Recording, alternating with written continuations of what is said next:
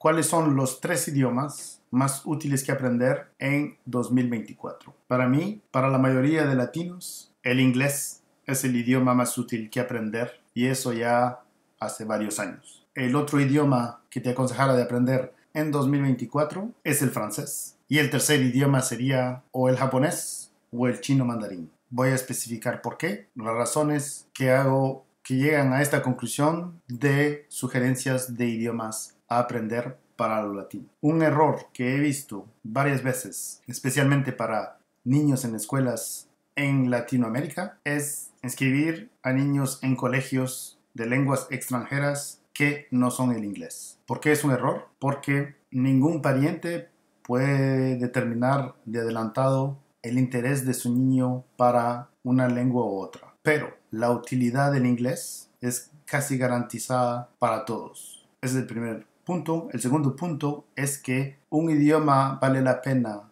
de aprenderlo si lo vas a usar casi toda la vida. Muchos niños aprenden el alemán, el francés, el chino mandarín o el japonés, pero ya cuando llegan a la universidad o llegan a trabajar ya no usan el idioma y si no se usa se pierde. Entonces yo creo que niños tendrían que concentrarse sobre el español de primero y como primer lengua útil el inglés porque prácticamente es usada en casi todo el mundo. Como dije, los idiomas más útiles son el inglés, el francés, japonés o chino y mandarín según mi percepción viviendo en Norteamérica. Como dije, el inglés es el idioma más usado en el mundo, es el idioma de las ciencias y tecnología, que es muy, muy, muy importante en 2024, pero también es muy usado generalmente en todo tipo de situaciones, en todo tipo de países. Es muy importante en Norteamérica y en Europa si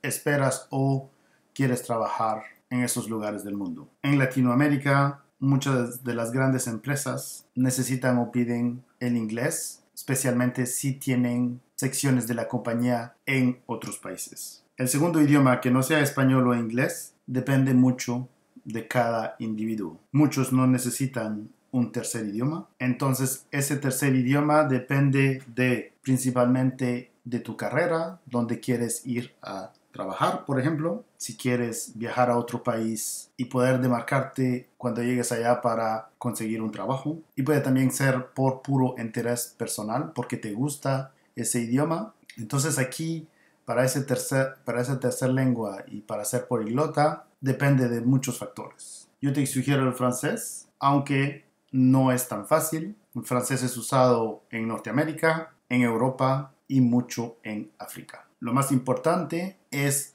que si quieres aprender un tercer idioma, tienes que tener una convicción y un interés para aprenderlo, porque varios de esas lenguas o idiomas son bastante difíciles. El francés no es fácil de aprender. Si no tienes interés o si no estás motivado a ponerle tiempo y energía, te va a ser muy difícil de llegar a un buen nivel en ese tercer idioma. También tiene que tener un impacto en tu vida, como, como te dije, para ayudarte a aprenderlo. Yo aprendí el francés aquí en Canadá por necesidad y porque es una de las lenguas oficiales. Entonces no, yo no la escogí, sino que tuve que aprenderla. Entonces aquí en Canadá me permitió aprender el francés, el inglés, porque son las lenguas oficiales del país. Finalmente, otras lenguas que puedes considerar para aprender son el japonés y chino mandarín, porque estos idiomas son muy útiles en Latinoamérica. Muchas compañías japonesas y chinas están presentes en toda Latinoamérica. Entonces, aprender o poder hablar esos idiomas te pueden dar una ventaja en tu futura carrera. Si vas a ser traductor o cosas así, te pueden dar también mucho trabajo. Depende también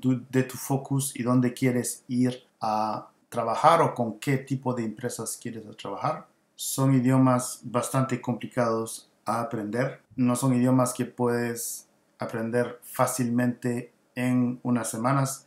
Tienes que poner mucha energía y para eso tenés que tener un objetivo personal o laboral que te motive a aprender esos idiomas. En Norteamérica y en Europa no hay mucha interacción donde necesitarás el chino mandarín, pero el japonés sí hay más posibilidades por los cambios que existen entre Europa, Norteamérica y Japón, que son mucho, muy bajos entre Norteamérica, Europa y China, por ejemplo, que tienen más restricciones y que hay menos interacciones en las empresas, entonces en el trabajo. En resumen, después del español, les aconsejo aprender el inglés lo más rápido posible porque es un idioma que tiene un impacto muy grande para las carreras de muchos individuos y para tercer lengua ahí ya como dije es más por interés o porque quieres mudarte a ese país o por tu carrera. Entonces ahí les consejo más el francés, el japonés y el chino mandarín, aunque los tres idiomas son bastante difíciles de aprender. Tienes que tener una cierta motivación para permitirte tener suceso y aprender esos idiomas en un periodo de estudio que no sea muy largo. Entonces es más importante ir más con tu interés o con un objetivo claro para poder suficiente para poner suficiente energía y aprender esos idiomas y agregarlos a tu lista de idiomas que puedes usar. Con esto me despido, entonces, see you soon y au revoir.